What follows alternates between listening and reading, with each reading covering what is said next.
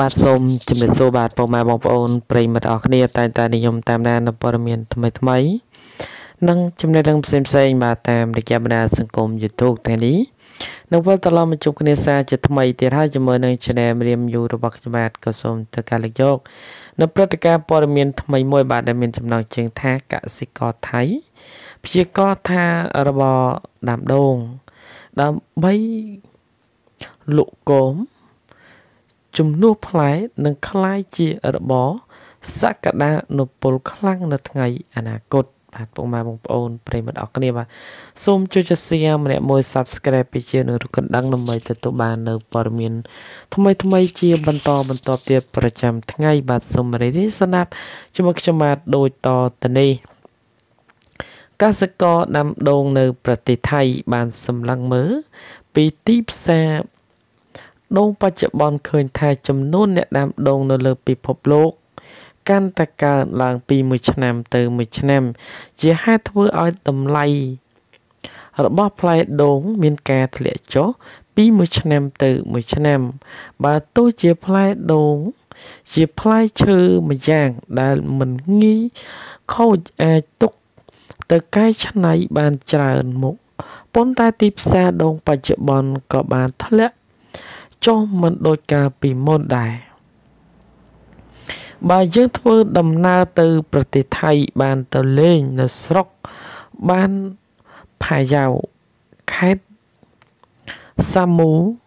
សំខនបាទជាខេត្តមួយដែលជាទីតាំងដាំដំណាំដូងដ៏ល្អបំផុតប្រចាំប្រទេសថៃកសិករនៅសាមូសាខុន បានប្រកបមុខរបរជាអ្នកដាំដូងតាំងពីយូរមកម្លេះដោយសារតែដីនៅទីនោះអំណោយផលជាមួយនឹងដំណាំដូងហើយថែមទាំងទីតាំងដែលប្រមូលផ្ដុំទៅដោយប្រភពទឹកទៀតផងតែនៅក្នុងស្រុកបានផាយ៉ាវខេត្តសាមូសខនលោកពូបូ ប្រាសើថេបជាកសិករគំរូម្នាក់នៅក្នុងស្រុកនិងជាម្ចាស់ចំការដូង ដែលមានឈ្មោះថាសម្ផាបើសំទោសាផារ៉ាផាបាទមានផ្ទៃដីសរុបប្រមាណជាជាង10រៃលោកបូរ៉ាស៊ីផាសំទោលោកបូ រ៉ាសឺសិបជាកសិករដែលចាប់ផ្ដើម យករបរជាអ្នកដាំដូងតាំងពីយូរឆ្នាំមកហើយក្នុងចំការរបស់លពូមានដូងពីរប្រភេទគឺពូជដូងធម្មតានិងពូជដូងក្រអូបបច្ចុប្បន្ននៅក្នុងចំការរបស់លោកពូបូនរ៉ាសឺស៊ីប គឺលោកពូបានដាំដូងដែលមានទម្រង់ខុសពីកសិករដទៃទៀតគឺលោកពូដាំដូងដោយយកលក់គោមដូងចំនួនឲ្យលក់ផ្លែដូង ពីព្រោះលោកបានសម្លឹងឃើញពីទីផ្សារគោមដូង នៅទូទាំងសំទោសទូលំទូលាយមិនទាន់មានកសិករណាដែលហ៊ាន កាប់យកមុខរបរសំទោសចាប់យកមុខរបរនេះទេ ពីព្រោះផ្នត់កំណត់របស់លោកពូបនរ៉ាសឺសិបគឺមានលក្ខណៈខុសប្លែកពីកសិករដតីអ្នកសារព័ត៌មានថៃបានសួរទៅកាន់លោកពូបូរ៉ាសឺសិបថាហេតុអ្វីបានជាលោកពូដាំដូងមានទម្រង់ខុសពីកសិករផ្សេងផ្សេងទៀតគេ ដាំដូងដើម្បីលក់ផ្លែចុះហេតុអ្វីបានជាលោកពូដាំដូងដើម្បីកាប់យកគោមលក់លោកពូមិនខ្លាចខាតឬទេលោកពូបូនរ៉ាសឺស៊ីបបានឆ្លើយទៅកាន់អ្នកសារព័ត៌មានជុំវិញថាខ្ញុំដាំដូងនិងលក់ផ្លែដូងនេះ ជាយូរឆ្នាំមកហើយ ខ្ញុំដឹងច្បាស់ពីទីផ្សារដូងបច្ចុប្បន្នសពថ្ងៃ ដូចយើងបានដឹងហើយថា មានកសិករជាច្រើនដែលបានចាប់យកមុខរបរដាំដូងដើម្បីលក់ផ្លែដូងជាហេតុធ្វើឲ្យផ្លែដូងធ្លាក់ថ្លៃពីមួយឆ្នាំទៅមួយឆ្នាំប៉ុន្តែចំពោះគោមដូងវិញ គឺមានតម្លៃថ្លៃ ហើយរបរដាំដូង ដើម្បីកាប់យកគោមមកលក់គឺនៅមិនទាន់មានកសិករណាហ៊ានធ្វើនោះទេ ដោយសារតែផ្នត់កំណត់របស់កសិករគ្រប់គ្រប់គ្នា តែងតែគិតថាការដាំដូងដោយកាប់យកគោមលក់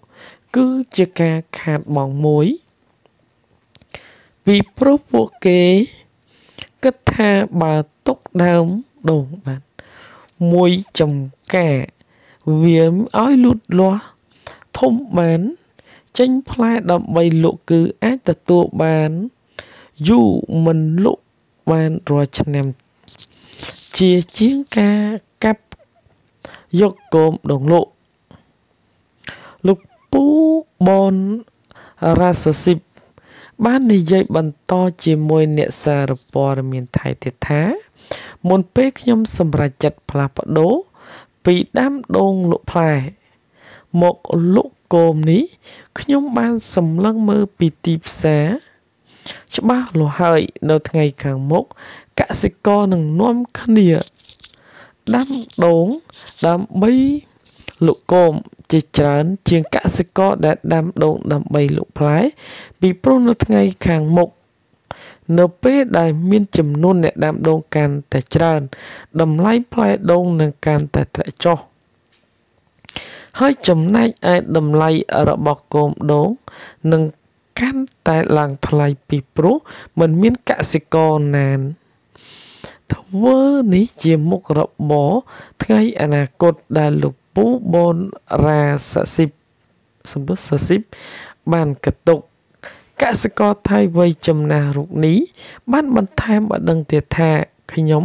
មិនខ្លាចក្នុងការចំណាយដាំដូងដើម្បីកាប់យកគោមកលក់នោះទេបើយើងងាកមកគិតទៅចំពោះរយៈពេលនៃការដាំដូងយកផ្លែនិងដាំដូងយកគោមគឺមានរយៈពេលខុសគ្នារហូតដល់ទៅ2ដងឯណោះដាំដូងដើម្បីយក ផ្លែលក់គឺយើងត្រូវចំណាយពេលចាប់ពី4ទៅ5ឆ្នាំ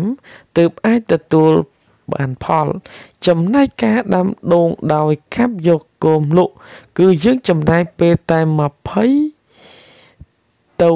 24ខែ គឺយើងអាចកាប់ដើមវា សម្រាប់យកគោមមកលក់បានហើយបើគិតទៅតម្រាំ គេអាចទទួលផលសម្រាប់ទទួលផងថ្លៃដងម្ដងម្ដងគឺយើងអាចកាប់យកគោមទៅលក់បានដល់ទៅ2ដងឯណោះបាននិយាយអំពីការដាំដុះវិញ ការដាំដុះយកគោមគឺចំណេញទំហំដី ជាជាងដាំយកផ្លែបងប្អូនមានចង្អល់គិត គឺដោយសារ ហេតុអ្វី ជាការពិតណាស់ដាំដូងយកគោមចំណេញទំហំផ្ទៃដីជាជាងដាំយកផ្លែលក់ពីព្រោះដើមដូង ដែលយើងដាំសម្រាប់កាប់យកគោមគឺដាំចន្លោះពីគ្នាតែ2គុណទៅ3ម៉ែត្រហើយក្នុងមួយរៃយើងអាចដាំបានចំនួនរហូតដល់ទៅ400ដើមខុសពីការដាំយកផ្លែយើង ត្រូវដាំដោយមានគម្លាតពីគ្នា6ទៅសំទោស6គុណ8ម៉ែត្រត្រឡប់មកចំការរបស់លោកពូបនប្រាសឺស៊ីបវិញលោកពូមានផ្ទៃដីដាំដងយកគោមចំនួន10រៃក្នុងមួយ រៃលពូដាំបានចំនួន400ដើម ដូច្នេះ10រៃលពូដាំបានចំនួន4000ដើម ចំណាយពេលតែ20ទៅ24ខែលើកពូបនសឺស៊ីបអាចប្រមូលផលគោមដងបានចំនួន4000ដើមហើយចំពោះតម្លៃវិញ គឺក្នុង 1គីឡូលោកពូអាចលក់ដល់ទៅ8ទៅ10ដុល្លារតែតាមតូចតាមធំដូច្នេះក្នុងមួយចំការដែលមានផ្ទៃដី10រៃរបស់លោកពូអាចរកចំណូលបានចន្លោះពី35,000ទៅ40,000ដុល្លារក្នុងរយៈពេល20ខែ បន្ទាប់ពីរៀបរាប់ហោហែអំពីចំការដូងរបស់កសិករថៃលោកពូបនសើសំទោបរាសសិបនឹងបានដឹងពីប្រាក់ចំណូលដែលលោកពូរកបាន នៅពេលមានចំណុចមួយទៀតដែលបងប្អូនកំពុងមានចម្ងល់ថាតើលោកពូបូរ៉ាសស៊ីប បានលក់គោមដូងរបស់លោកពូទៅឲ្យទីផ្សារណាបើទីផ្សារត្រូវការគោមដូងយកទៅធ្វើអ្វីមានសំណួរតែមានចម្លើយចំពោះទីផ្សារដែលលោកពូបនរាសស៊ីបបានលក់គោមដូងរបស់គាត់គឺលោកពូមានទំនាក់ទំនងជាមួយទីផ្សារទំនើបទំនើបធំធំ នៅក្នុងប្រទេសថៃតាមបណ្ដារោងចក្រ កែច្នៃជាច្រើនទៀតពីព្រោះគោមដូង គឺអាចយកទៅកែច្នៃបានជាច្រើនមុខដូចជាធ្វើជាបន្លែទ្រាប់ធ្វើជាគ្រឿងផ្សំក្នុងសាឡាត់នៅក្នុងហាង អាហារទំនើបទំនើបនិងធ្វើជាអាហារបំពន់បានទៀតផងដែរលោកពូបូរ៉ាសស៊ីបបានសង្កត់ធ្ងន់ទៀតថា កសិករមិនត្រូវធ្វើប្រហែសរឿងទីផ្សារនោះទេ មុននឹងចាប់ផ្ដើម